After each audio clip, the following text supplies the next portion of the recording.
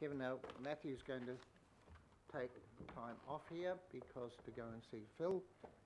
And who's coming up? Robert. Kevin? Good? And Ross will come to the front table, I think. Francis as well. Francis, Kevin, Robert, welcome. Floor is yours. Um, Good morning, councillors. Um, So, just under four weeks ago, all the CCOs were in attendance to um, discuss their quarterly performance. So today, uh, today we've kept the focus very much on the, um, the Q1 group results. And also, we've also got Transport coming in after this item um, to talk about their, um, an update on how they're progressing against the investment against the regional fuel tax. And then a bit later on, we've used the opportunity to then bring in Haumaru Housing to give an update on the um, Housing for Older um, People portfolio. So, um, so for this um, group result um, item, we'd like to take you through some a new format that we've introduced for this um, for this quarter, as well as um, then using that to step you through the group performance overview, and then um, Kevin will then step through, I guess, the key highlights from the Auckland Council entity summary. Um, so, at the uh, 22nd of October FMP workshop, uh, we presented on intended changes to our quarterly um, um, reporting. This change has been really driven out of the need to drive better transparency in terms of our progress against key LTP initiatives and the SOI that have um, recently been adopted. We also recognise, um, you know, the sheer volume in terms of the content that you receive. So we're really trying to make things a lot easier and, and to digest around the whole performance of, of the group. Um, so today we're going to basically step you through the Q, Q1 results using the new format. Um, we are taking an iterative approach. So, you know, today you've seen, I guess, the first version. And then from that point, we'll obviously, based off feedback, we'll continue to build on that and, uh, and sort of tailor it so it's um, useful for your needs. Um, this basically, from Q2, then will actually, the new pack will replace effectively the 250 um, pages odd of content that you currently get, which is, you know, um, like I said, is quite hard to do, um, a lot of information. Um, so basically, am I now moving to the first part of the pack, which is an overview of the um, consolidated results, and that pack is um, basically on the addendum agenda that was sent out. So that's um, um, item G, which um, you received yesterday. So if you could, um, we'll step you through the results going through that. So the intention of this pack is effectively, it, it covers the whole group. Um, it gives you a snapshot. There's a section in there in terms of, um, of the overall group results. And then what we use in the pack is a, basically a summary for each of the entities. And that includes the Auckland Council entity and then the five CCOs. Um, so I'll step you through the first part of the pack, is which we're now talking about, is the overall group results. Um, so in this first page, which you will see on your agenda item or page two, um, what we're using here is just basically a section in this um, um, new format. It's just to continue to um, bring the key um, sort of highlights from the long-term plan sort of to the forefront and make sure that we, you know, we continue to be focusing in on what we've um, set as part of the long-term plan process. So the structure of this page is really just recapping on the capital investment, the funding sources, and then the operating expenditure. And I guess a key call out here that we continue, you know, we've been talking a lot about through the LTP process is the step up in investment that we're doing through um, from last year to this financial year. Over the page, um, we then step through now to the progress against that investment. And this is the, the snapshot effectively um, from the period of 1 July through to 30 September and how we're progressing against our investment at a group level. As you'll see um, on this page and that sort of on the left box there is the progress on the um, capital investment. And to date, we're actually travelling really well for the quarter with um, basically a, a slight underspend of 23 million against our budget of 400 million for the quarter across the group. Now, the key area there is um, Watercare, which is travelling slightly behind.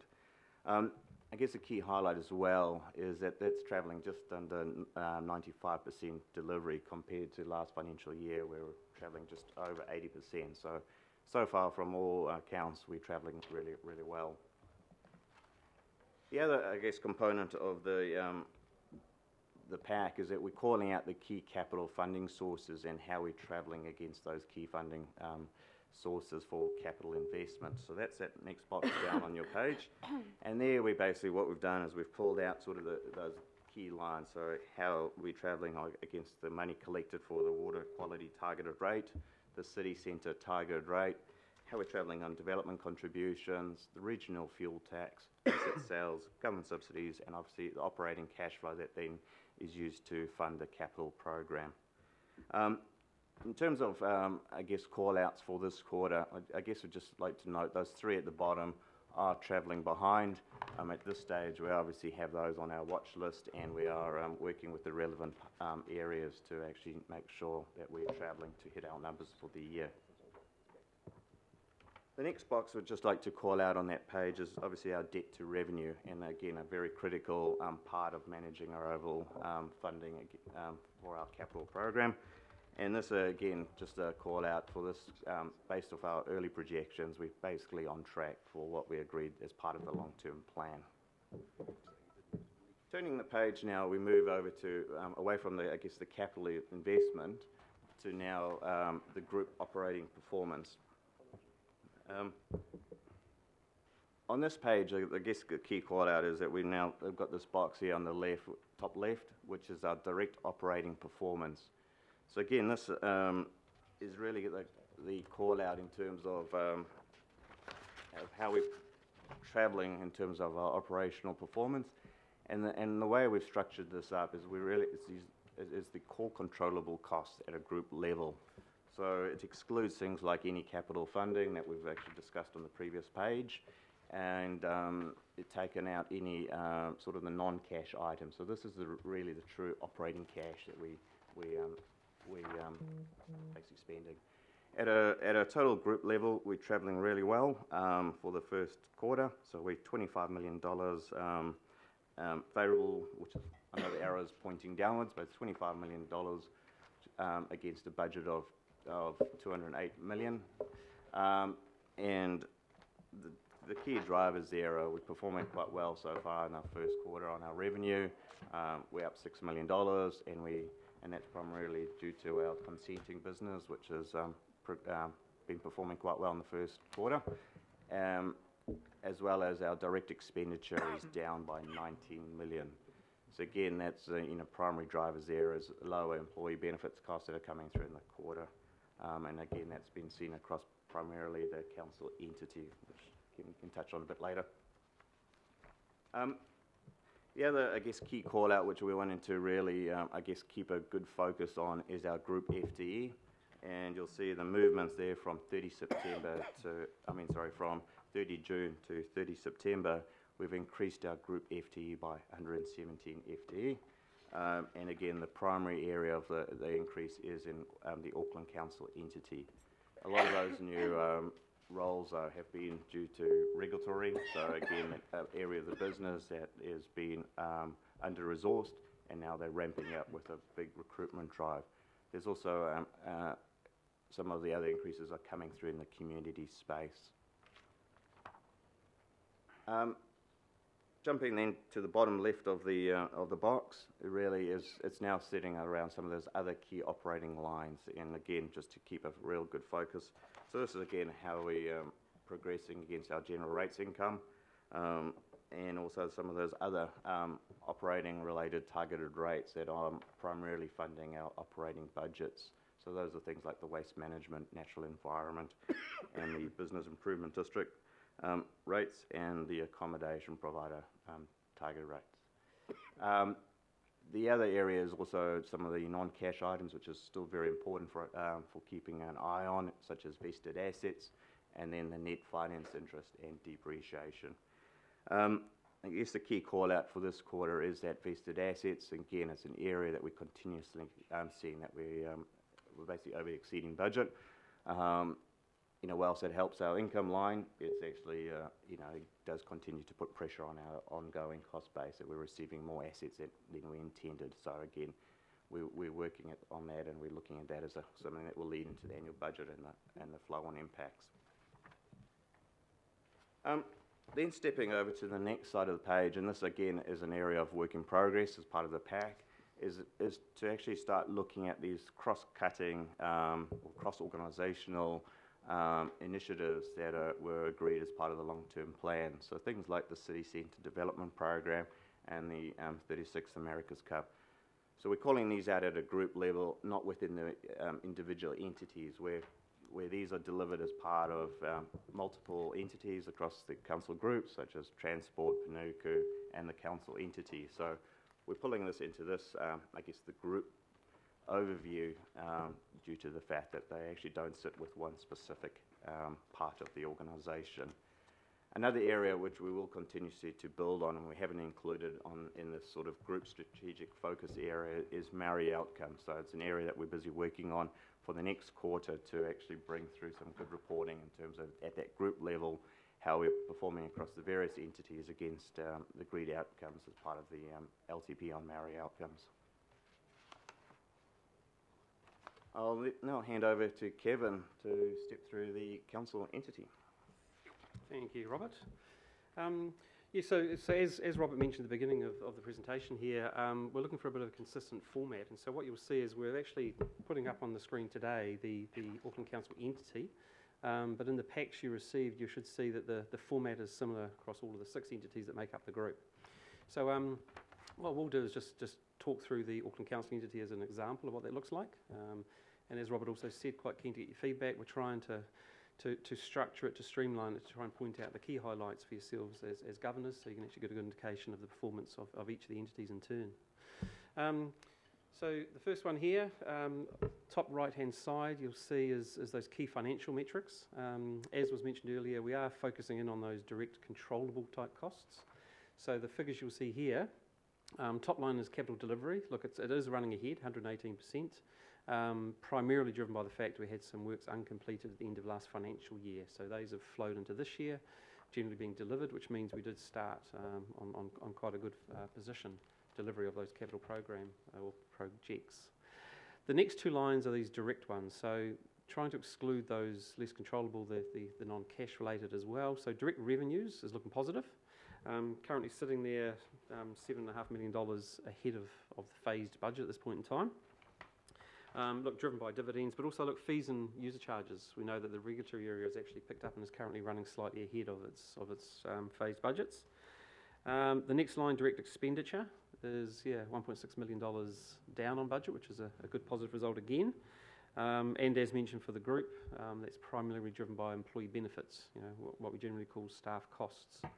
So good story there as well, which adding those two together, direct revenues is, is ahead, direct expenditure is currently underspent, gives us a good net direct expenditure line, $9 million under phased budget. So all good positives on those financials. Um, the next box down is um, what we've done here is, is tried to pick out a few of the key metrics to give an indication of how the entity is performing. so in the case of Auckland Council entity, uh, we've got the five there. Um, and look, we will go through and try and pick out what we believe are the ones that tell um, the, a story or the story in some cases. Look, the, the, first one's a good example though, the percentage of complaints uh, or complainants satisfied of noise control services. If you remember at the end of the last financial year, that was actually a red. Uh, we were not meeting that. Um, there's been reviews of the contracts, there's been some more realistic targeting setting in there, and for those reasons, we actually now have turned that around to a positive, which is a good story.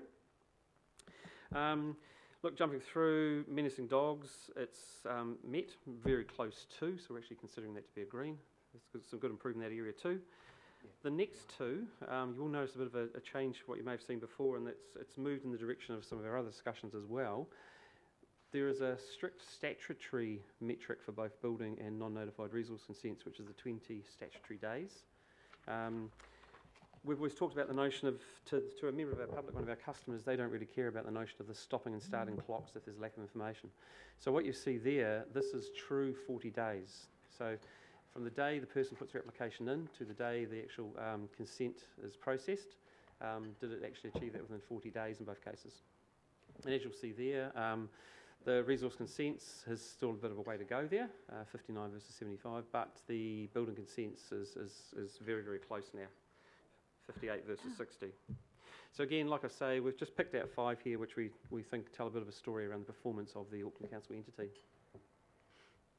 Um, I won't go through the sections of that particular page in detail. What you will see though on the left-hand side in your pack, highlights for the quarter. So we've picked out a few of those. We generally used to show those on one of our opening slides. So this is actually some highlights you should be aware of that are actually being uh, achieved for the for the council entity. And but then below that, any issues, things have actually manifested and become an issue for us, or potential risks that we think you need to be made aware of. That's in the bottom left-hand side of the pack in front of you. Um, but look, just as importantly, performance is all about where are we today? What does that mean for the future? So the bottom right-hand side of the pack in front of you is actually headed up outlook for the next quarter. So that's giving some indications. Um, if there are some areas that need improvement, what are we doing to what actions are being taken? Um, but on the, on the other side, there's also just some positives we know of are coming up. So it's telling a bit of a story looking forward, trying to link current performance to what we are moving towards. Um, look, we also won't go through on the presentation in front of you, um, going through the rest of the CCOs. But um, hopefully, if you had had a chance to, to flick through the pack you've got there, you'll see this is the format that we're trying to push for all the six entities. We're trying to, to draw it up to a, to a higher level um, of what is the performance, both financial and non-financial. So quite keen to, to get a feel as to if this is actually meeting your role as a, is this meeting the needs of your role as a governor. Um, but also, look, obviously, any questions. It is first quarter, which means it doesn't really start to show true trends of any sort. There are some indicators coming through. Next quarter, we'll, we'll go into more detail on the actual performance underlying. We'll have the, the um, Auckland Council entity and the CCOs as well to answer questions. But I'm um, happy to take questions on the content, but also quite keen to get any comments on the, on the framework and the format. Mm. Thank you. Councillor Sayers, Oh, thanks, Ross. First, first off the mic. So just questions or questions, yep. just questions? Um, uh, just a question around the consent targets, uh, Mr. Chair. Um, you mentioned, you know, those percentages. I just, I, I assumed um, that they would be 100%. You know? So could you just explain to us, you know, those different levels for the two different types of consents that you just mentioned, Kevin? Thanks. Yep. Yes, you know, thanks for that. Yeah, look, no, so through the chair, um, yeah, look, statutory requirement is to meet 100% um, of consents processed within 20 statutory days. Um, that is a legal requirement. Um, and I think you've had comments um, here before around the nature of some of the consents we get in. Um, you know, significantly complex building consents, um, 20 days is, is, is, uh, is a very hard target to achieve. To our public, though, what's more relevant probably is the day we put a consent application in, when is it actually processed? When is it actually um, completed? So what these metrics are doing are more of our own determined ones. Um, this is actually set our own targets for these, which is okay. We need to ensure the information being given to us as part of the consenting process, um, we get all the information we need up front. So there's a bit of a stricter control process around that, which means we can now try and meet these targets. So these are the 75% is a target that we've set ourselves. But we believe it is quite realistic and it's probably more meaningful to our customers rather than a statutory one set as a part of a piece of legislation. Thank, thanks, Kevin. And just Thank a, just a second one, Ross, if I may, Th- and thank you for that uh, response. Um, and that's just uh, th- this going up into the public domain as well. Does, at what point, because it's easy to read and people might be able to digest it, just the Mhm. intentions there. Okay, yeah. Uh, yeah. Question.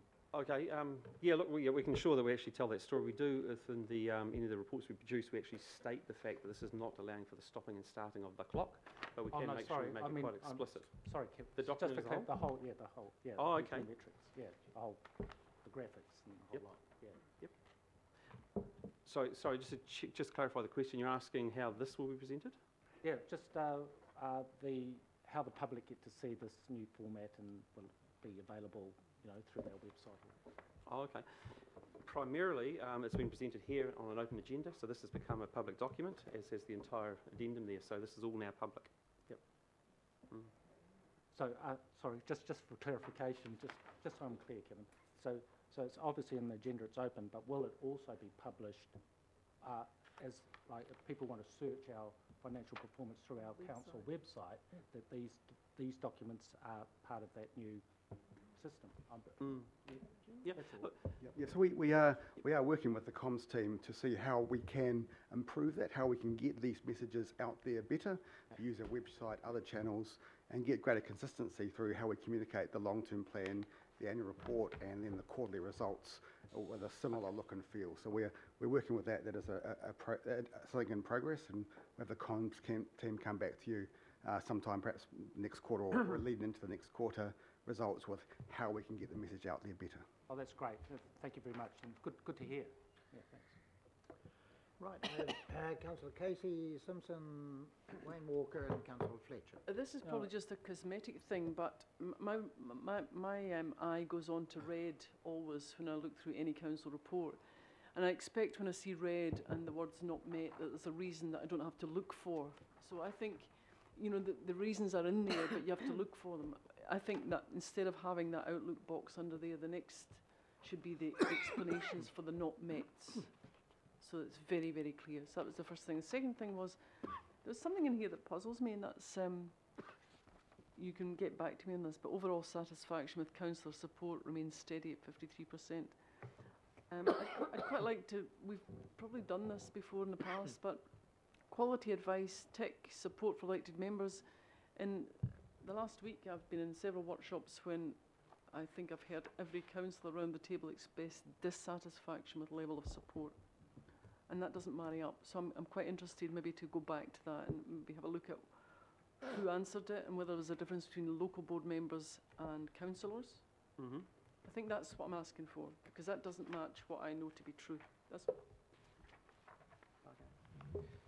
Yep, yep, through the chair, we, we can provide more information on that. That was uh, the, the a survey undertaken with all elected members, both local board and governing body, so we can provide those details. Oh, no effect, councillor Casey. Councillor Simpson. Um, Mr Chairman, if I could have the lenience to respond to councillor Casey, I do know, because I chair the quality advice, I do know that a survey is coming to elected members in the next little while. The problem we had um, with the results is only 12, count, 12 people um, replied. Um, and, you know, if you don't have the response, the staff don't get the data to actually do something about it. So I take your point, but a survey's coming out shortly, and I would just urge everybody to complete that survey because um, the NZIER results are very, very positive. But sorry, Mr Chairman, if I just go through that. Um, I just want to start by say, a comment and a question. I think it's really, really good. Um, I think the format is simple. I think where, you know, you, you have got not met, but you do have the is- issues and risks. And potentially I do support councillor Casey on that one as well, maybe a little bit more around that not met, but you, you do have the, you do have the boxes. I think probably in time those boxes might move, move depending on, on, um, on the issue. So my question is around, you know, what bothers me considerably um, financially in this council is that actually we are performing pretty well, and yet we don't get those good news stories out. Um, like Councillor Casey, the media always look for the red stuff and do a story on the bad, bad stuff. So my question to you is can we give some direction to the comms team to do a series of releases or something on the good stuff? Because we just do not sell that story very well and we have to do it better. Um, I'm, I'm the first to admit there are stuff, there's, there, there are issues within the, the council and the finance that we don't, but I just don't think that we're joining the dots up internally. As I said, um, and you've heard me say this before, our results actually are much better than they have been, um, and we just need to get those positive stories out. We need to do something about that. So what are we doing about that? Are you guys talking to the comms team and giving them the simple facts to help them write positive Yep.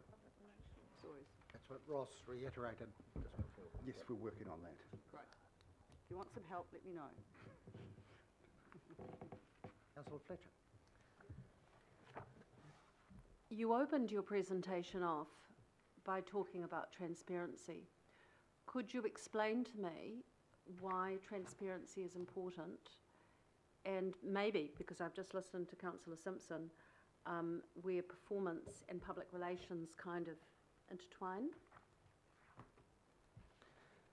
So So th- through the chair, I guess uh, the, the concept around the transparency is, you know, a lot of the information that we produce is there. So it is transparent. I think it follows on to what um, Councillor Simpson is saying. So I guess the, what we're referring to there is how we, how we actually package it up so it becomes a lot easier for, for um, the public and yourself to actually understand exactly the, how we're progressing against some of these very um, important uh, strategic initiatives and how you can actually digest the information in a very, very simple manner and in a more transparent. So, so we're not saying that we're not doing it. I think it just again comes back to often how we present the information becomes quite um, hard for people to actually get a good understanding. You've got to read through a lot of collateral to actually get to the, the key points. I guess um, a supplementary to that would be, having worked with the traffic light system for the six years I sat on the board of Auckland Transport, I found it very effective.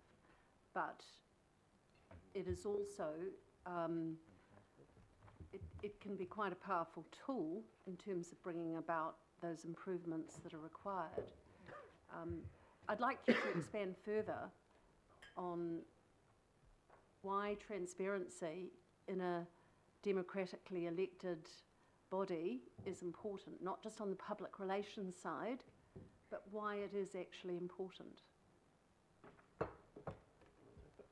Yeah. Um, yeah, look, the, the, this, through the chair, this could end up a huge philosophical discussion, which I think is, is quite right. But the core, I think, of what you're saying is the notion of, as a taxing entity, there is extra obligation to ensure transparency about what the funds that we're taking out of people's disposable income is being used for. And it's being used efficiently and effectively to deliver outcomes that have been discussed with the community and agreed to. That's sort of the I think that's sort of the answer that I was looking for, and I would hope that that is your focus and not trying to run public relations companies. Yep. Thank you. Right, any further questions of the team? Councillor Cooper? Um, thank you. Um, mine was a, you may not know the answer, but I just wondered in the measurements around the not met, um, meeting building consents and resource consents as well as we'd like, um, are we drilling down into, um, the reality of us having to, the council having to work with CCOs to get comments on resource consents, for example, AET. I know one example, one CCO applying for a resource consent and egregiously AT not responding, and it's now to 60 days. So do we actually drill down those kind of things between our group, so-called family, when we're not getting timely responses, um, and it holds up major projects? Are we doing any of that sort of measurement? That it's internal mucking about that's making these um, numbers low? Um, yeah, look, through the chair, um, yeah, we have had the regulatory team coming here to talk about the results in the past, and, and what they have identified is they've, they've gone down to root cause. They have analysed a lot. You've heard quite a bit in the past about um, resourcing capacity, and there was that, and that's part of the reason why the large increase in, in the Auckland Council entity FTE numbers, the 99 increase. There was a, it was across the board, but there was a, a large portion of that was actually filling some of those vacancies we had at the end of last year. In the so council, that's, that's bringing the council, not yes. CCOs? The, yep, the, Which the are the ones where I'm asking about their responses, lack of Yep. response? Um, that has been identified in the past. I know there have been improvements made, um, especially of transport. There's been some, some, some greater connections around the resource consents area, which is the primary area where it does involve Watercare and transport. And, and the response we've had, had uh, against those actions was there has been improvement in how that's been done. Well, I, I hope to Mhm. see much more improvement, thank you. All right, well, there's no further discussion on this. What we're going to do is we're going to Oh, take, I thought you, councillor Sayers. sorry, sorry, Ross, I did, I did have some comments. on your Comments, yep, no, yeah. fine. Was that right? Yep. Yeah, sorry. I, Go to it. I just thought you went questions and then uh, discussion. So, look, a couple, couple of things I'd just like to say. Um, and I have got a large bouquet, bouquet in my back pocket here for, uh, for the team too. But I, I, do, I do have to say that um, I completely disagree with the council setting performance targets that are lower than that required um, by the law around the consenting targets. I can't support that, and, and uh, I, ju- I just I just think that's wrong. However, the bou- the bouquet um, is that uh, you know this is it's just heartening to see such uh, good improvements, or continuous improvement in the way that we're reporting our performance, our financial performance, both internally and externally. So uh, well done, and uh, obviously it's a continual process, but it's, it's very good to see that trend. Well, the bouquet is certainly accepted. Uh, Kevin, do you want to respond to the brickbat? Um, yeah, look, yeah, no, sorry, if- yeah, sorry if I wasn't clear earlier on. Uh, through the chair, though, you know, there are there are s- metrics which are around statutory days, um, which are the 20 days we've, we've, we do report to because we are legally re- obligated to. But what we have here, uh, what we believe are more meaningful me- measures for our customers, which is regardless of the ability to stop and start clocks because we haven't got all the information we need, there is a, a huge push by the regulatory team to say that's that's not what the customer wants to know. They want to know that the day they lodge the application to when the consenting is the processing is completed, how many days have elapsed there. So that is what these metrics are doing. These are self-imposed metrics. They are quite challenging metrics, which they are improving towards.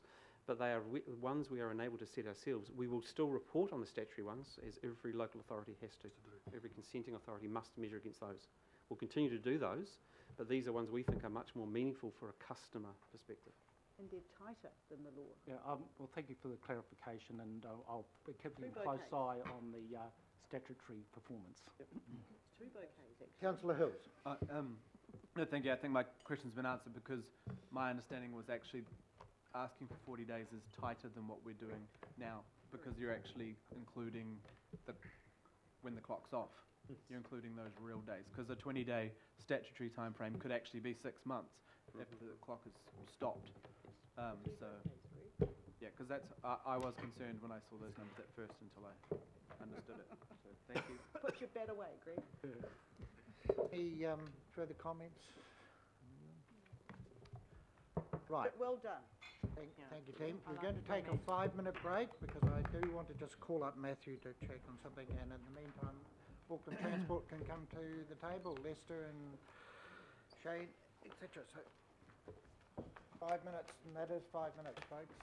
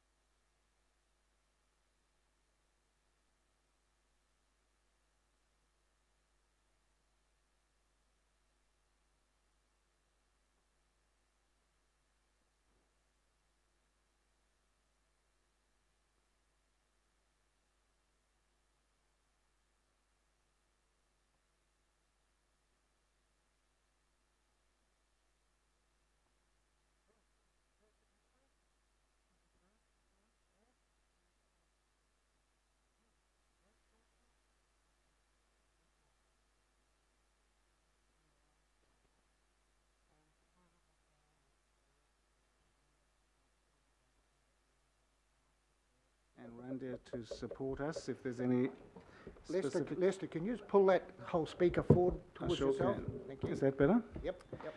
Uh, Thank you, Chair. Um, Today, we've got uh, Shane Ellison and Mark Laing with us, and to also help us, we've got Wally, Cynthia, Mark, Lambert, and Randir, all well known to you. Uh, This is actually our first formal report back on the regional fuel tax since its introduction. Uh, We are only in the first quarter of the financial year, so you will note that a number of the projects um, are uh, to be delivered are either in a design or business case phase, but um, uh, we're starting to get momentum. You'll also see that road safety is a particular key deliverable.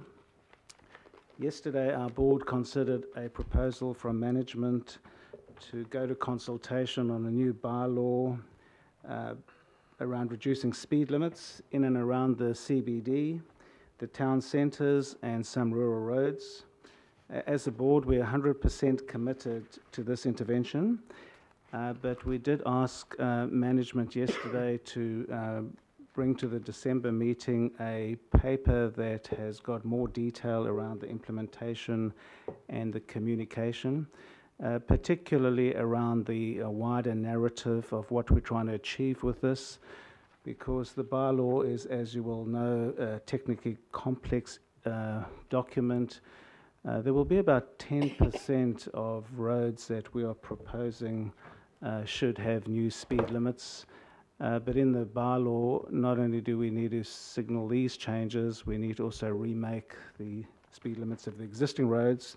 So the board wanted to make sure that what we put out is easily understandable, um, easily able to be comprehended and reflected on. So that'll come back in December, and we expect that that'll be approved at that meeting. Uh, the consultation will commence as early as possible in the new year, likely the beginning of February. And depending on the outcome of the consultation, uh, a number of uh, speed limit changes will be introduced, and these would be funded by the RFT. We still believe uh, strongly that speed reduction is one of the single biggest contributors to um, behaviour change and road safety and the capacity to reduce death and serious injury rates. Uh, there's a lot of evidence that exists around the world, and I think you'd be pleased to know that the 10% of the roads that we are targeting all have defensible cases. There's evidence about why speed should be reduced on those particular roads. Um, I'd also like to take this opportunity on behalf of our board to acknowledge uh, yourself, Phil Goff, the Mayor, and the Council for actually taking this step, also supported by government, to introduce a regional fuel tax. Uh, we're not naive. We realise how difficult this decision was for you personally and as a group collectively. But it is really important after many years of not wishing to grasp these sort of nettles that they are, because it's absolutely critical that the funding is in place to actually deliver to Auckland what it actually deserves. So um, we uh, want to acknowledge that and, and thank you. And uh, I suppose empathize with you because we know these decisions are, are not easy, but courage is required to make these decisions and you should be congratulated for doing so. Uh, and that is a message from our entire board. Uh, I'll just hand over to uh, Mark, who will take you through a presentation, and then we'll take any questions that you have. Thank you. Mark? Thanks, Lester. So, given this is our first report, we felt it was appropriate to do a brief recap on regional fuel tax and what actually it enables. Um, so the Auckland Transport Alignment Plan proposed 28 billion of investment over 10 years through the collection of the 1.5 billion of regional fuel tax, which when combined with NZTA funding and development contributions, will enable 4.5 billion out of the 28 billion of investment. The RFT enables 14 separate projects, or more specifically programs of work, to deliver a safe and reliable transport system. This chart here, which we've included, is just to remind everyone that obviously the, the spend ramps up over the 10 year period. Obviously, there's a lot of design and build about to, uh, business casing to occur in the first couple of years. You'll also see that, that the investment profile ramps up and peaks around 2023 before continuing on. Around 2023, Mill Road commences, and you'll also see then around the, that timing the purchase of additional electric trains to coincide with the opening of CRL. In the first quarter, so for the last three months into 30 September, uh, we enabled 24 million of investment, which had been enabled through 15 million of the regional fuel tax money which was collected. What we've done on this slide here and trying to illustrate as an example, uh, just to capture the, phasing of the various pieces of work, and, and this is how it was reflected um, in the RLTP. So this is the indicative phasing. You'll see a lot of projects do actually go continuously almost throughout the entire 10-year period. You'll notice that the likes of Mill Road and Penlink are more back-ended, and likewise the trains we talked about. Um, would call out that as a management team, we are challenging ourselves to try and bring some of these elements forward where possible. So if you take the downtown ferry terminal redevelopment, um, you would have seen through the recent planning for downtown that we're actually looking to substantially complete that piece of work now before the America's Cup.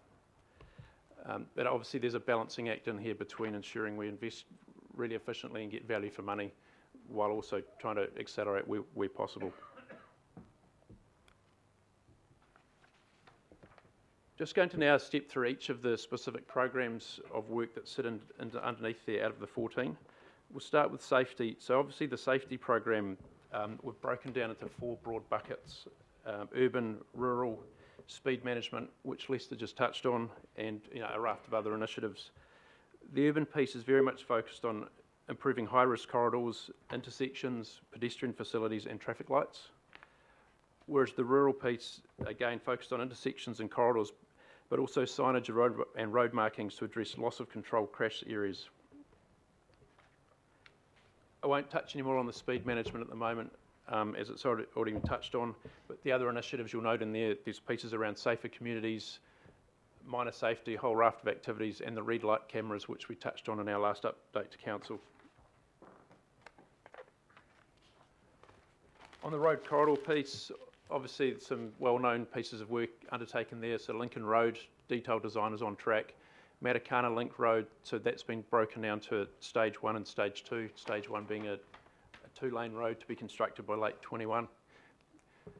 Um, seal extensions, again, key area of focus. You'll notice that we've included in the presentation that we've nine sites have been agreed with the Rodney Local Board, you know, progressing to scheme design.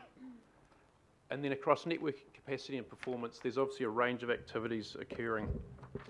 Um, and obviously there's a whole raft which we can come back to if there's questions at the end, but you know, there's lots of activity in there to help augment the, the capacity and safety on the network.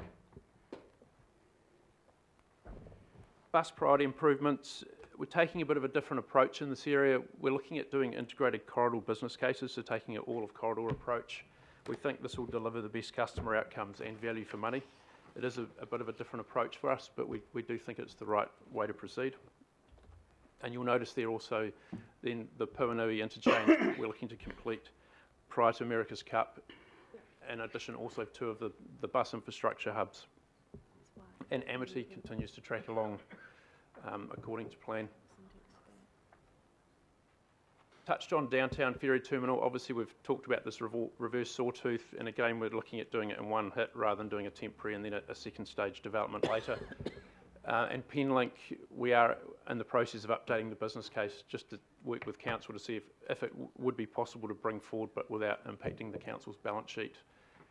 And you would have noticed in the actual last report there was a little bit of spend on Mill Road, but that's completing some land acquisitions that had previously commenced and, negotiations underway, but the project itself was back-ended in, in the 10-year period. And lastly, these four projects on this page, we haven't actually spent any RFT money on as of yet.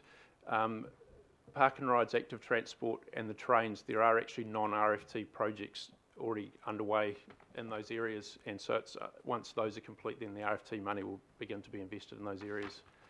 And then obviously the growth-related transport infrastructure. Um, obviously an announcement the other day about COP Wainui. Um, obviously AT's contribution is rolled up into that investment along with Whenuapai and Red Hills. So if we summarise, um, obviously the regional fuel tax is enabling much larger investment in transport and in the areas most needed. It will provide increased public transport and active modes and assist in growth in greenfields areas. So with that, hand back to Lester. Thanks, Mark. So uh, we are taking very seriously the fiscal responsibility around this as we do, but in this particular uh, line of funding, we will just make sure that we're able to transparently report to you uh, the receipt of the funding, where it's being deployed, and what the results are. So there's a discrete report that comes out that looks very specifically at RFT, so people know what's being spent, how much is being spent, what it's being spent on, and what the outcomes delivered are. So we'd be grateful to appreciate any questions you have. Councillor Walker. Sure. Um, just got a bigger question around um, cost overruns, and I, I just put that in the context of the regional fuel tax. So we know that we're going to know early next year when the tender prices for the CRL come in as to whether it's within budget or whether it's significantly over uh, budget. In an instance where the costs have gone up and the council has to find uh, money and it's it's not allowed for in our long-term plan, and even with a, an increase in contribution from uh, the government, we still have to find uh, money. Um, quite obviously, we'll have to revisit our um, long-term plan. Is it conceivable that we might have to look at the allocation of money from the regional fuel tax? And will there also be a process within that if we've got cost overruns?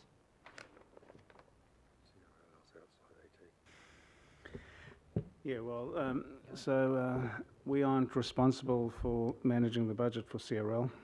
Uh, we would expect those who are to do that within the parameters, if that's possible. Uh, in terms of our own organisation, we've made very clear that the organisation is undergoing change.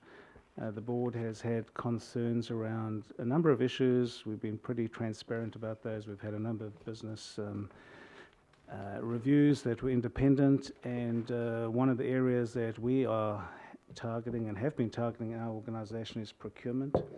Uh, we need um, more secure early forecasting of costs.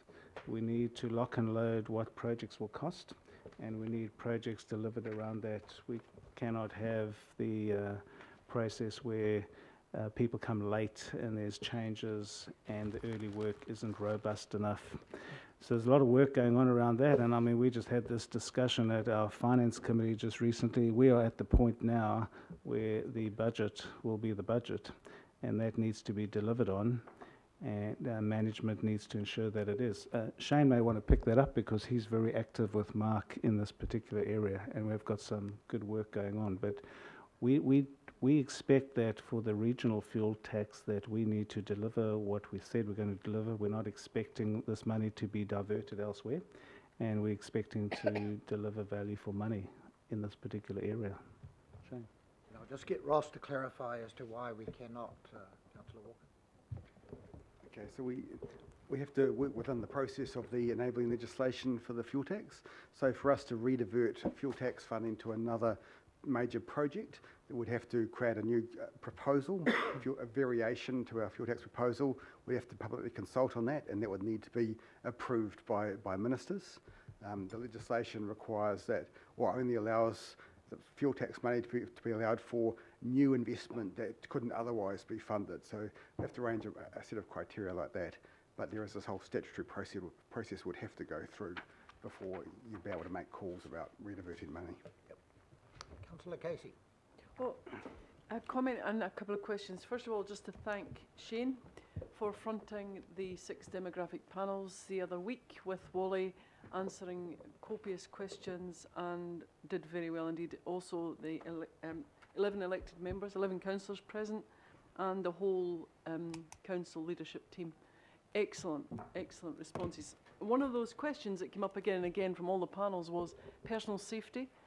And there may be an action arising from that that you don't know about yet, but uh, there's no hint of that in the way you report to us. So it is of concern to the community about being safe at stations and on public transport, but I can't find anything in the way you're reporting to us that addresses that. So just that was my comment. So thank you, Shane, for coming. My second question relates to when you have three not mets, I'd quite like to see them up front and with the explanation next to them, because that's uh, in, in the, I'm I'm looking at this document here. It's in your report and you have to go look, see what the reason is. And probably I'll ask you about one of them, which is the cycleway. Was that the, the reduction in the build? Is that simply due to the New Lynn fiasco? And, um, not Grey Lynn, sorry, not New Lynn. New Lynn's good. Yeah, And is it on track for the rest of the year? Can you just conf- sorry, councillor, can you Not please met. confirm? Cycleway build, not met. Is it the RFT report or is that the? It's in your, it's in your big report here, it's on our page. Thirty-seven kilometres of new cycle we added to the regional cycle network. Sorry, is it in our in our quarterly report or is it in the regional fuel tax report? Quarterly Oh, you're doing the fuel tax? Yeah. Can you save that question for when Yes, we, I can revert. We- We'll email a response. Did you hear me? No, I didn't hear. No. It's all, it's all good. You can save it, I'll get it later. That's fine. We'll revert. That's fine. So you want a response back on Grey Lynn and New Lynn? No, I just want to know that you're meeting the ten K per year. We- so We'll send Yeah. a, we'll you send an can email catch up response. loads, Yeah? So that's We are the- we are pushing ahead with all the walking and cycling projects. Which includes the Tafo Coastal Walkway. Um, Mayor- Mayor Goff, Yeah. Mayor Goff. Thank, thank you, uh, Mr Chair, and uh, thanks to the AT team. Look, um, just three questions. Um, obviously, when we put a levy in like the regional fuel tax, um, people are okay with that if they know where it's being spent, and that means the whole emphasis comes on our communication of what we're doing. And I, my first question is about your website. For example, I looked up the website this morning, uh, printed it out on Penlink, and the latest update was February 2017. And the, if you were just relying on the website, you would think that Penlink wasn't going to occur until the second decade, uh, which is, you know, uh, over over 10 years out. I, I'm just wondering, don't you have to do something to bring your website up to date so that people can go there and see what's happening uh, in in real time, not what the what the position was, uh, which is in this case 15, 16 months ago. So your website's not really helping the selling of what we're spending the money on and what we're now capable of doing because of the RFT. Maybe Wally would come up. Here comes the website guru. Yeah, um, kia ora, councillors. Um, Mr Mayor, thank you for that. Um, thanks. I'll, I'll, definitely pick that up and acknowledge that um, our website um, does does need um, constant refreshing. Um, just in terms of, uh, of general comms around regional fuel tax, each project that is either funded or partly funded by the RFT has its own comms plan, consultation, engagement plans, and the fact that it is regional fuel tax funded is is a key message and a, and a key strand to those comms plans. Um, and as we saw in the presentation and Lester alluded to, a lot of these projects have, have reasonably long lead times. So at this point, we've got a lot of projects in business case stage or design stage. So um, uh, with the exception of the um, red light cameras and uh, the Eastern Busway, Mr Mayor, which you're going out to tomorrow, um, and the upcoming announcement around Puhinui Station, you know, we haven't had a lot of um, announcements to be able to make around key milestones that public are going to see. One of the other things that we have uh, done and have been working with uh, council staff on uh, is some branding concepts for regional fuel tax um, funded projects. So um, all the collateral, uh, so this is your, your brochures, your consultation material, your on-site construction signage, will have a, have a, have a logo with something along the lines of um, powered by your regional fuel tax or um, brought to you, made possible by the regional fuel tax. So we are trying to really raise the visibility of, of what the, the fuel tax is delivering for Yeah. people. Yeah, because when, when we did a survey on visibility among the public, um, which is, was presented earlier uh, today, uh, it's actually dropped. And the, you know, we, we got a whole, whole lot at the time of ATAP, Yeah. but the profile has dropped, and all people are seeing are the costs and not the benefits. So uh, anyway, the, the website was just one element of that. Um, the, the other two questions I've got are about the specific areas, uh, two specific areas. One is road safety, and uh, for some reason I'm quoted in the Herald as not being in favour of dropping speed limits. Um, actually, if you see the, what was quoted, what I said was much clearer than that. I'm in favour of it when you produce the empirical evidence. Uh, you have done for me, I'm not sure you've done it for the other councillors, but there were two examples you gave me. I think one was uh, Wynyard Quarter and the other was another part of the CBD, and you had some quite clear statistical evidence of the impact of that. Would you like to re- relay that to, to other councillors?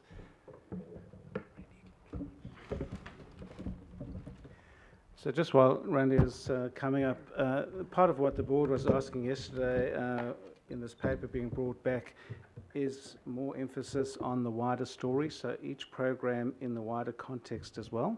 So uh, that I think you'll start to see that as these programs um, unfold, they'll always be connected back to the wider picture, not just these programs just independently ad hoc by themselves. Randy. Thank you, Mr. Mayor. Through you, Mr. Chair. Um, look, very good point, Mr. Mayor. And I remember the conversation that we did have a few weeks ago about um, some of the uh, specific benefits within the CBD in particular.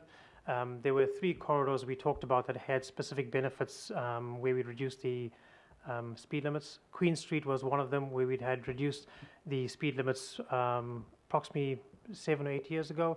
And what we were seeing on Queen Street was a reduction in crashes, deaths and serious injury crashes to the tune of uh, close to 50% reduction post implementation of the 30k speed limit.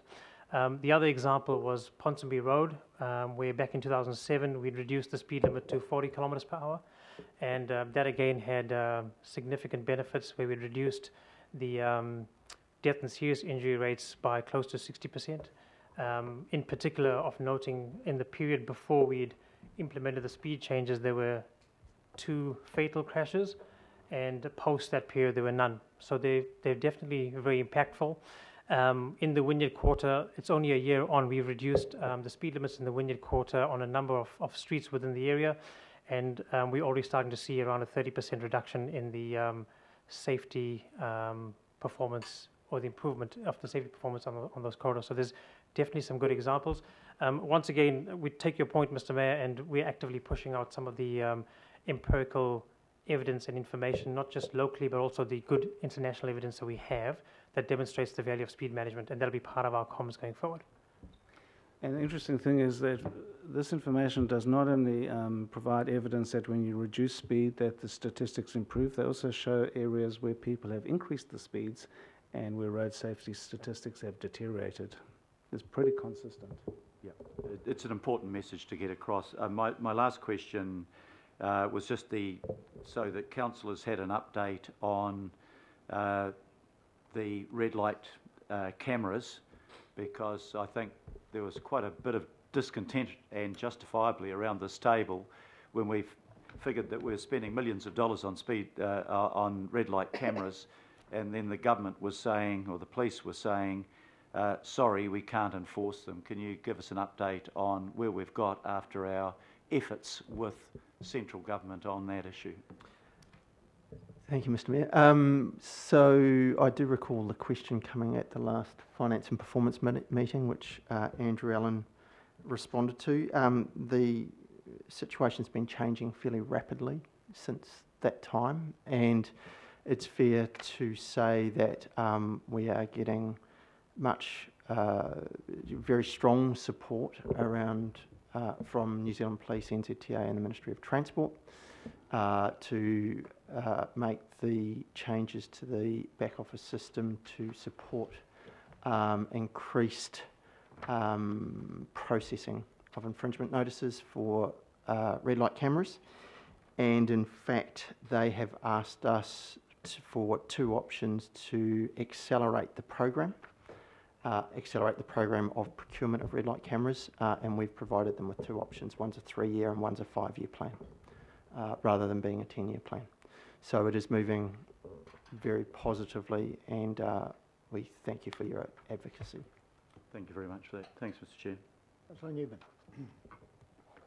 Uh, yeah, thank you. Um, I've got a couple of questions. Um, would it be Auckland Transport's professional judgment that the council uh, should not proceed with structure planning and live zoning at Drury and Paerata prior to the delivery or prior to the commencement of improvements around Mill Road commencing in 2023? Um, and noting that the Mill Road corridor isn't actually a full corridor for the conveyance of people and freight, it's, it's partial. Um, would it be AT's professional judgment that we should not proceed with structure planning and live zoning at that site until we have commenced that work?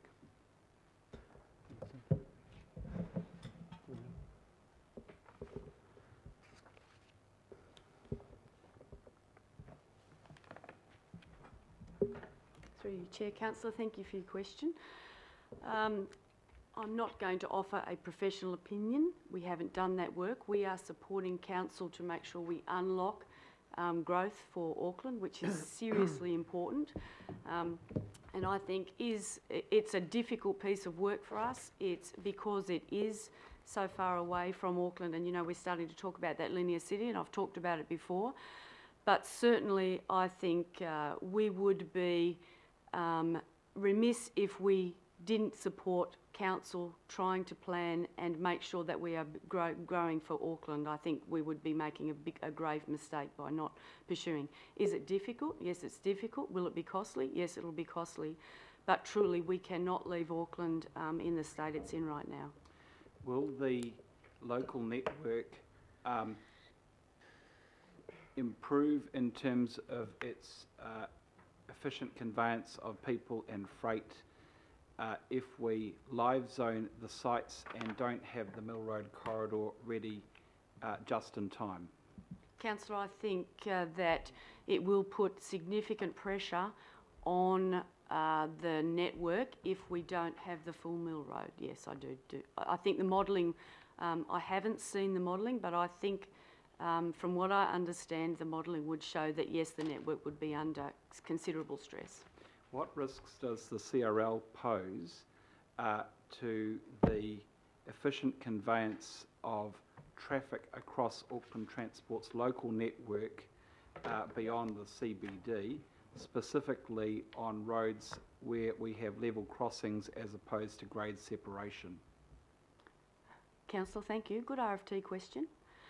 Um, I think that uh, I think that anywhere in the world where you have level crossings on your network, you will have uh, congestion, you will have safety issues, and it certainly would be my preference, and I can't speak for the board because we have not taken it to the board, that uh, we have uh, level crossings not on our network at all but um, understanding that we've pushed hard through the RFT process to make sure they're strategic asset and that they're picked up in the transitional rail um, program.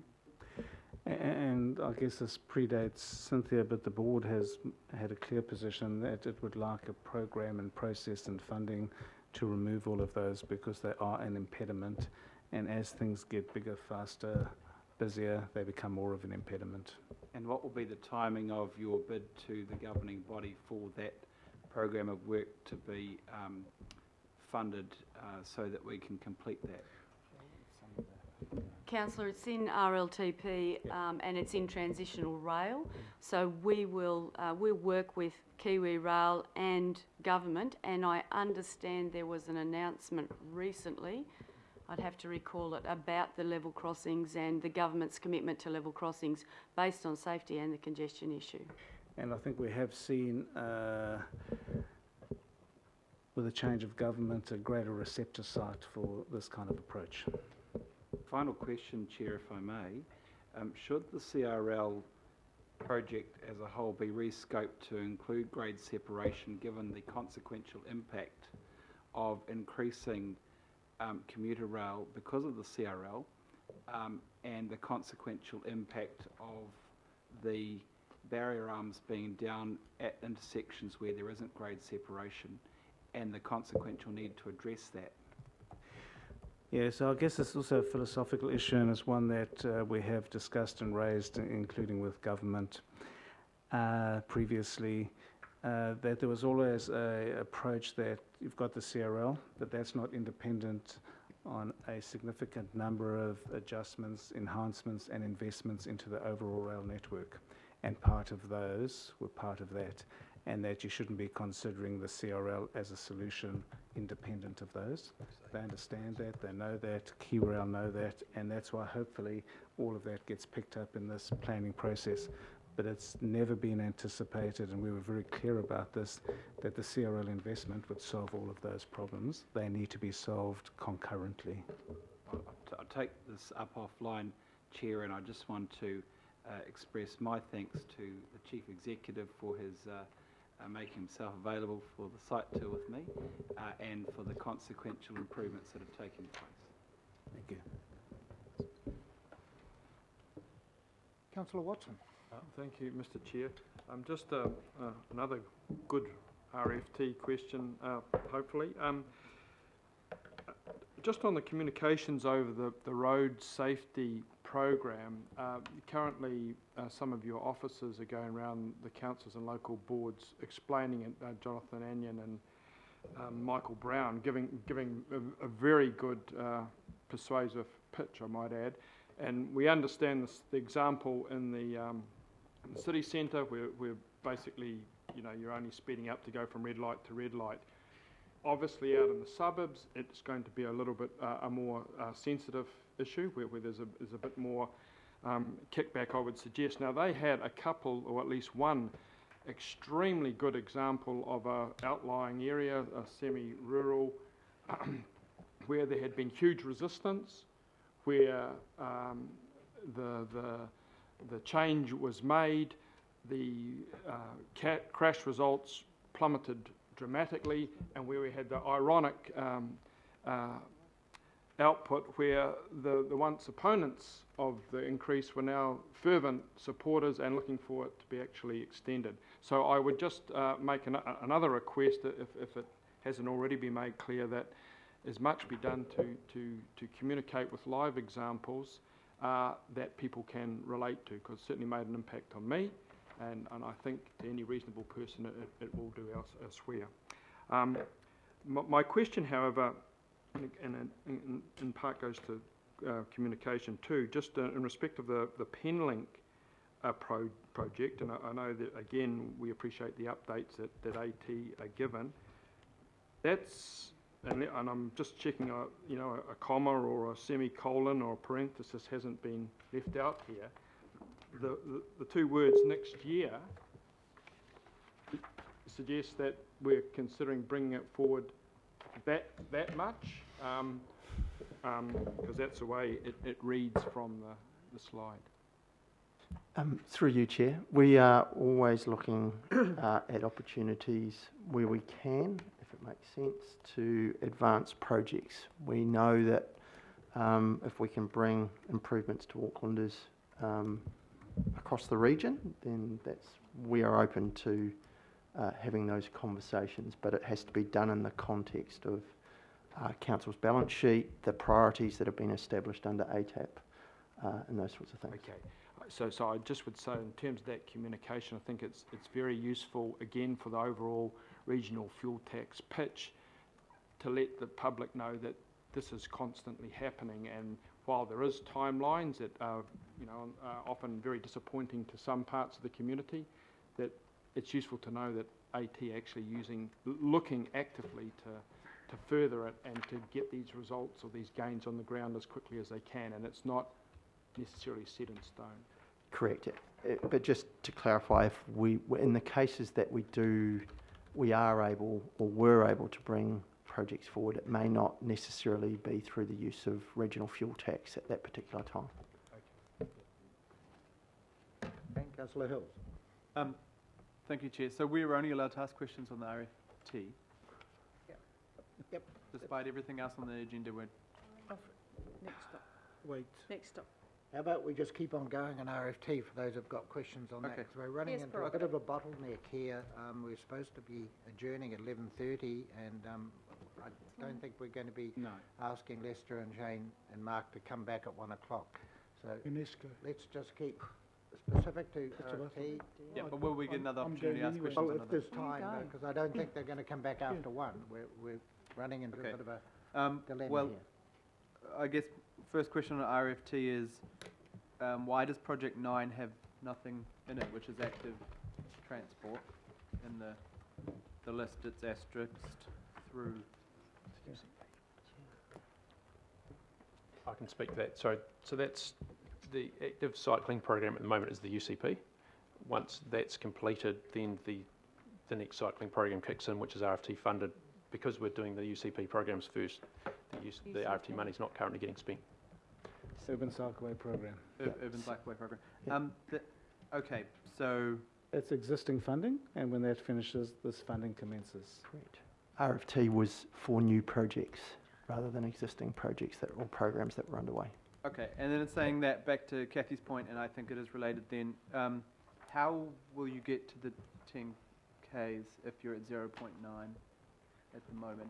Uh, What is the projections looking like on cycleways, cycling? Yep. So we had a, we are working through, we're about to go to market uh, on New Lynn to Avondale, for example. There've been a number of projects where we've done some rework on them. Um, and uh, looking to push ahead with those. We don't see any reason for not achieving the target at this point in time. Okay, and the other one, so on safety, thank you for this. I think we have seen a major ramp up in my, my community. I know, you know, 12 pedestrian crossings and something else coming, which is fantastic. But I think um, on the safety, the 30k zones and others, you know, that we uni- unanimously supported that. And I know it's only a short delay, but what, um, I am concerned that we seem to be tempering off a little bit, and I would have thought the evidence is people are dying and getting run over. So, and if traffic's slow, it's slow. So I, I, I just. Yeah, so there's no, there's no tempering off at all, um, but the board received the paper yesterday, had a detailed discussion. It is critical that um, the board plays its role, which is to stress test everything, and there are detail around implementation and communication that just need further work. It's, uh, if it wasn't uh, December, then we would start the consultation at the beginning of January, but that's not a good time. So we'll start uh, beginning of February. But there is zero tempering off. The, the, this is the number one priority. There is a united resolution within the board and management Okay. to do this. But we also do have to do it right, and communication is a critical part of it, as many of you have pointed out to us before. Okay, and my last um, thing on, on safety, and I know we kind of bundle road safety over here, and that was the number one uh, priority for the LTP and the RLTP and the regional fuel tax discussion. Um, but are you including walking and cycling projects within the road safety gambit and not separating them out? And I know both of you have said to me you're confident that walking and cycling is not being reduced or anything, and I believe you, but I just want to make sure that actually separated cycleways and safety for pedestrians is obviously included in road safety. They are, but from a funding perspective, they're separate buckets Okay. of money. So we have absolute transparency about what's being spent, what projects are being done.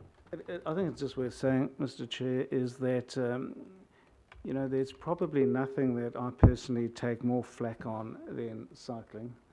It's not possible for me to go anywhere anymore because you're just under constant attack on cycling.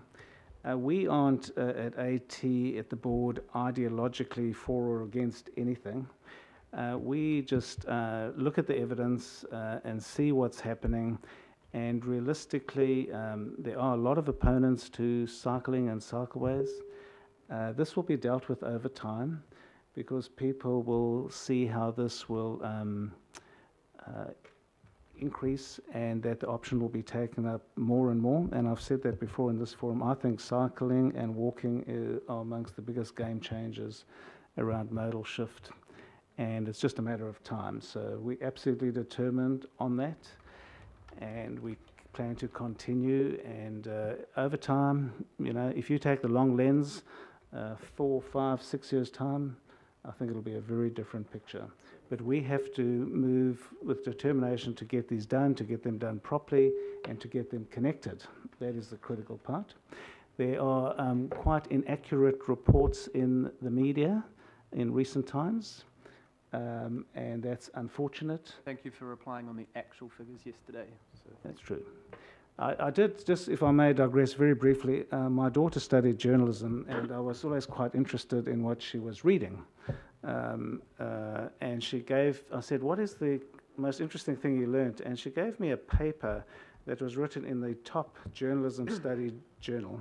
So I'm quoting now from a top academic, peer reviewed journal on journalism. And she showed me this quote, and it goes like this Journalism and inaccuracy, after flirting with each other for many years, have now got their lips firmly locked. Okay, so I'll leave it to the academic journalist to, um, but there you go. So that is something we have to deal with. That sounds almost exactly what Donald Trump said. I can assure you, Donald Trump won't be writing in any academic journal. Okay, thank you, councillor Hills. Now, we've got a dilemma here, guys. We've got councillor Cashmore, Filipaina, Cooper, Simpson, Lee, and I was going to say something, but I'll hold back. We've only got 10 minutes, actually, so councillor Cashmore. No, Ken. Okay, councillor Filipaina. Ken. Can you do the? Councillor Cooper. Can I do what? No, well, uh, the thing is, I've already been, if we're only allowed to ask one, uh, the question on, No, no, you're next. You, you go ahead. okay, good. So, um, three questions. One is, you have a measure for local board satisfaction, um, but they're elected member relationship staff. So can we have a measure for ward councillor satisfaction? Um, the other one is around the cycleway, and I'm, and I'm going to put that in safety. You've got standards for road maintenance. Um, it says road assets, but I'm not clear whether that's satisfaction with cycleway safety or condition. Um, and that's on road and off road because there seems to be no measure for how much they're swept clean, get the rubbish out, gravel off, and that is critical for cycle safety because otherwise people ride on the road. So I'd really, if you could have a measure for that, because it is critical. If you, if, if the cycle haters want us off the road, we have to have clean cycleways. Um, and the other one is around just what, it, it isn't about the um, Fuel tax. fuel tax, but I don't know when we're going to get to speak otherwise. Mine's just about, Cynthia was quite right, the job is to help unlock potential and work with us to deliver transformation and unlocking around the country. So I guess for me, just, and it alludes to what I said earlier around CCOs working together to help unlock and transform. And I just want you to know that in your organisation, you've got people holding up the single most critical, tiny resource consent to unlock Henderson. And it's been waiting for 60 days. And so I know you're doing a you are doing a transformation in your organisation. So I'd ask you to look at that sort of inter-family stuff and help us deliver on what we're trying to do in Auckland, because this is just silly. So um, those are the sort of things I'm really asking that you could, you know, make sure our relationships between CCOs work and our regulatory department. Thank you. And it is really a bit of a follow-up to, to what was passed on to Cynthia just the other day about, you know, latching into the Panuku work program, which is unlock and transform. Those are our priorities. Um, and if local boards are banging away about something else that's much more important, then that's, that's not the case. Work with the It's- it's the CCOs. Panuku work program and the one local board initiatives that are the keys. Funds and the and We've long established that, so I'm going to go to councillor Simpson. This is Simpson. the one I'll, be. I'll just do one, because we're at time High essence, on the regional fuel tax, which is what we're supposed to be talking about. How many actual projects are only funded by the regional fuel tax as opposed to being topped up? None, right? This is a finance meeting, and I can see that you've, um, you've put the fourteen projects and you've put the RFT contribution. I just think that, um, we need to keep monitoring. You- We need to first set the, um, you, you, you've got, so let, let me just understand this, um, second slide. So you've got, there are 14 projects. The RFT uh, annual contribution is the next column, correct? Correct? Right, that's the life of the project. Over X year. So what, what I think what we need to see, people are paying the fuel tax every day. They absolutely need to see, see that instead of just park and rides, it is what park and rides, where, and they need to see what RFT money has gone into that. This is, has to be something that's completely transparent. And at the moment, if you were looking at this, you wouldn't know whether they're in your area, this area, that area, that area.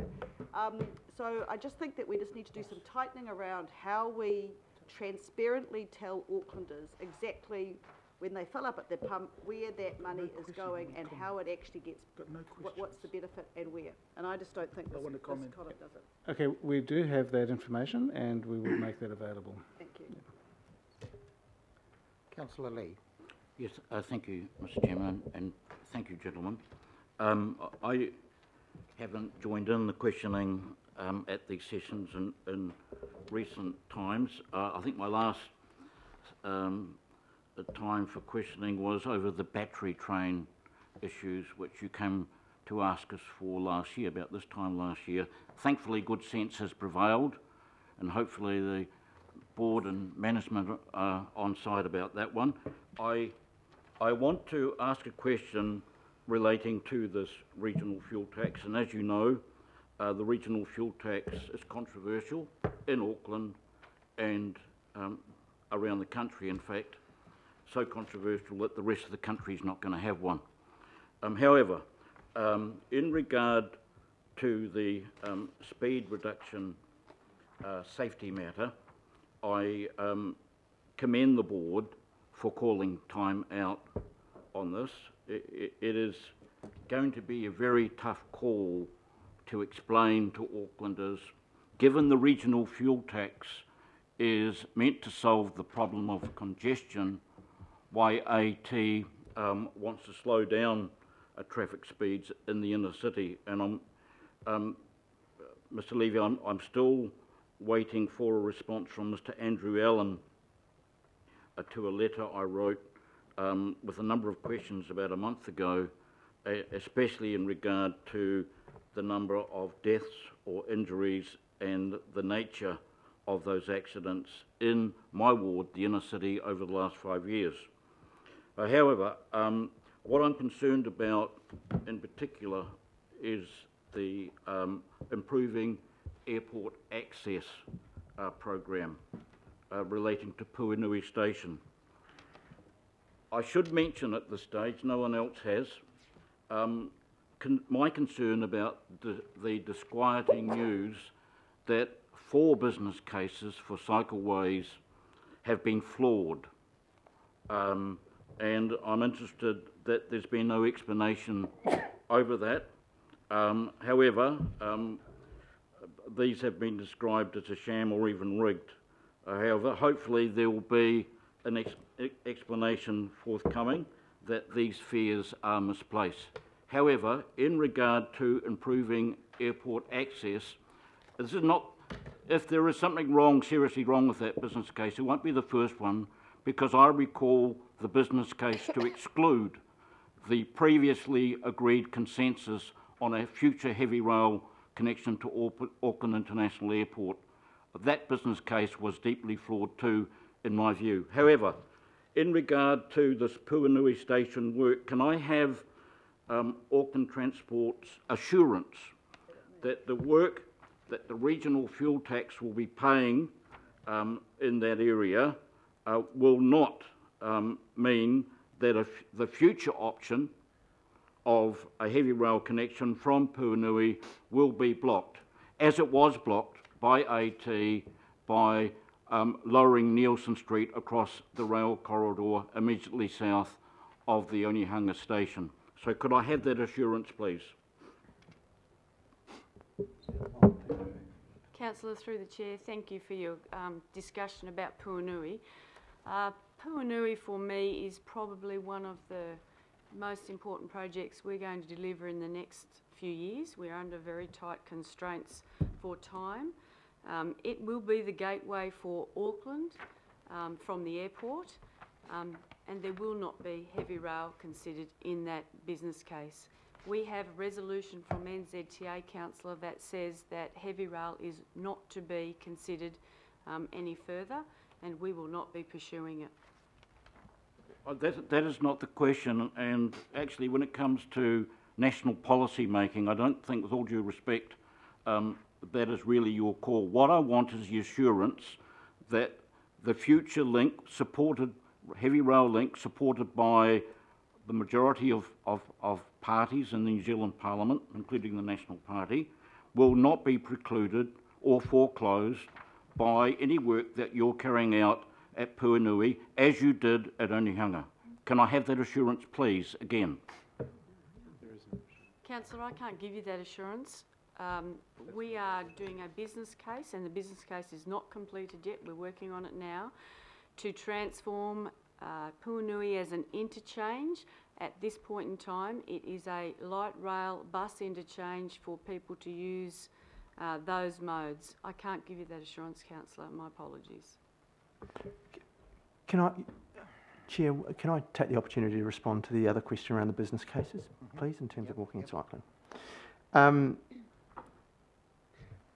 there has been articles published in the last 24 hours around business cases. Um, the what I would say in response to that is Auckland's cycle infrastructure is performing well, and we are confident that the investment is delivering the expected results and benefits. As we add more safe and protected infrastructure to the network, we are seeing the numerous increase exponentially that we are seeing, which is consistent with the modelling we use. The article that was published did not make clear that the numbers that were projected for were for 2026, not 2018. Um,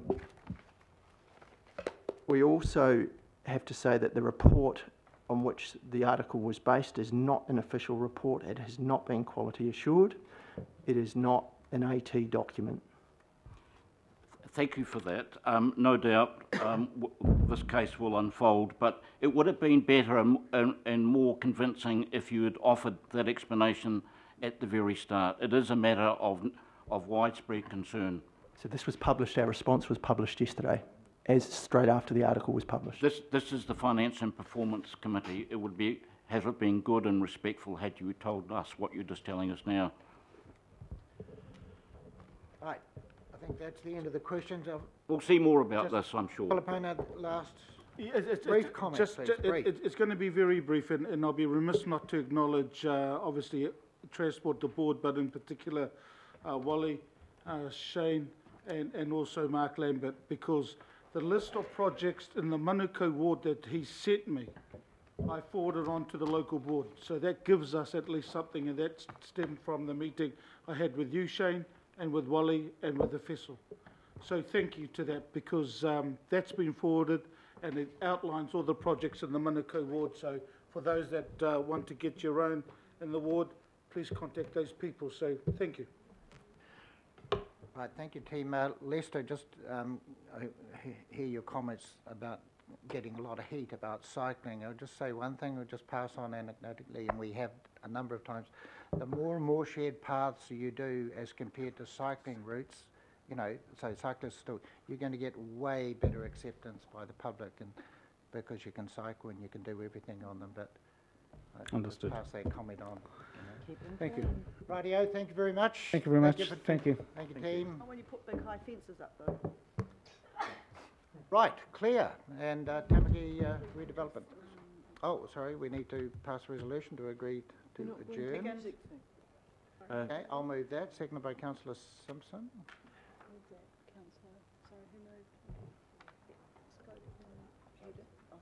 Councillor Simpson. Uh, adjourn, what are we doing? We're adjourning ca- uh, item eight, and we're now going to item nine, so I'll move that, seconded by councillor Simpson. All those in favour? Aye. Oh, there's a lot of enthusiasm. We're not. For that, right. We've now got clear and, and, and We're uh, not going to the music